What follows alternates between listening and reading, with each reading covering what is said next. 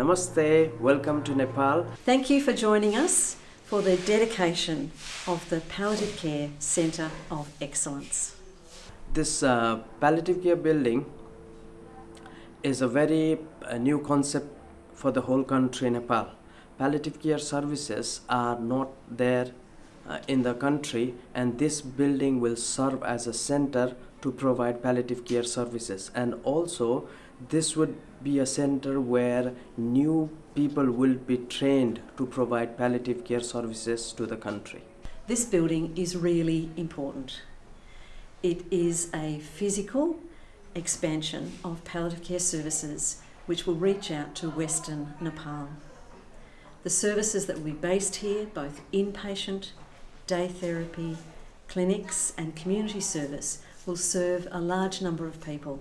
But more importantly than that, this base will be a training base and a research base, reaching out to rural areas of Nepal.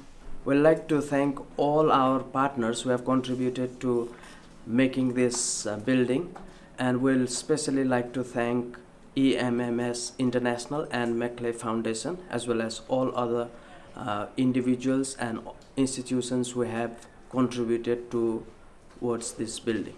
And Nepal is benefiting enormously through your generosity. So thank you.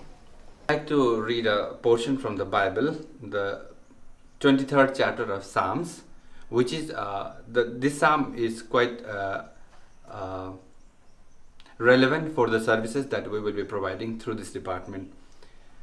It reads like this The Lord is my shepherd. I lack nothing. He makes me lie down in green pastures. He leads me beside still waters. He refreshes my soul. He guides me along the right paths for his name's sake.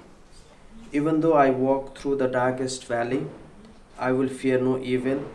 For you are with me. Your rod and your staff, they comfort me. You prepare a table before me in the presence of my enemies. You anoint my head with oil. My cup overflows. Surely your goodness and love will follow me, All the days of my life. and I will dwell in the house of the Lord forever.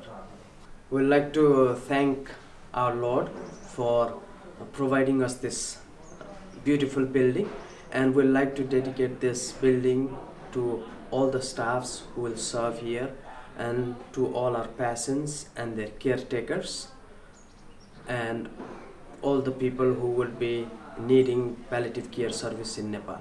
Let's pray. Lord, we really thank you for this time and for the provisions that you have given to us. And Lord, that you have sustained INF through many decades. We want to thank today, especially for this service, for this building, and the people who will work here. Lord, we thank you for bringing them here. We also pray for people who will come to us to receive services through this department. We pray that you will anoint them from today itself. And Lord, we pray that our team will be able to provide a holistic care so that to some extent we'll be able to reduce their pain. After all, Lord, you are the healer.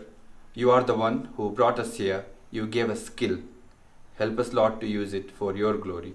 And thank you. And we uh, submit ourselves and this department again in your hand. We pray that you will use it according to your will for your glory. In the name of our Lord Jesus Christ, I pray. Amen. And so now it's my great delight to invite you all to come inside and have a look at this beautiful facility.